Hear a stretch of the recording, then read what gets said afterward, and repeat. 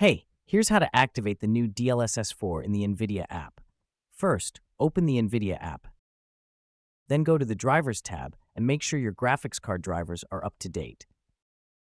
Next, navigate to the Graphics tab, click the three dots, and select Refresh. Now, choose the game you want to apply these settings to. Scroll down to Driver Settings and select DLSS Override Model Presets. Here, choose the latest available option and click Apply. I'll also show you how to turn it off.